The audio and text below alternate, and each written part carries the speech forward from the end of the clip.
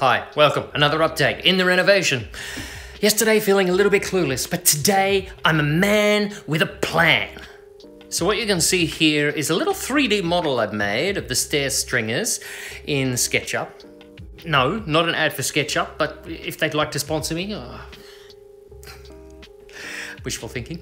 Uh, so what I did is I took all the accurate measurements of the stringers, built it in the model, and then adjusted it. So what I have done is worked out the new levels I'm going to cut these stringers down to.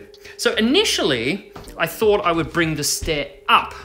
But no, that's a stupid idea. I'm not doing that. What I will actually do is take the whole staircase down. And that way there'll still be 14 steps.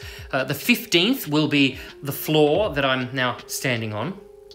And it means I need to just shave a little bit off each step.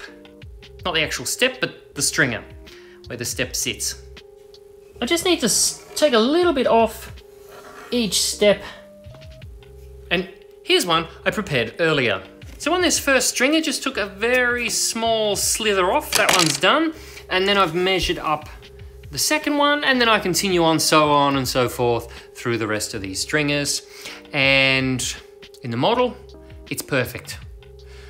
When I drew it up in the model and then I came back in here, I took a couple of cross measurements, they were spot on. So feeling very confident now, it's just a case of time and cutting these stringers. I'll find more time in the day tomorrow. Thanks for watching. See you back here tomorrow. More of this on the way. Very exciting. I'm really excited to get this staircase back in.